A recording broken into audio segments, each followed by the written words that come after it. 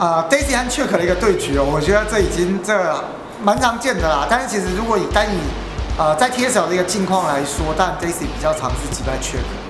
对，但其实呃，我觉得 Daisy 的进步是比 Chuck 来的多的。但是在最近的 I E N 的一个比赛里面，Chuck 又在外卡赛的资格里面击败了 Daisy，最后还晋级。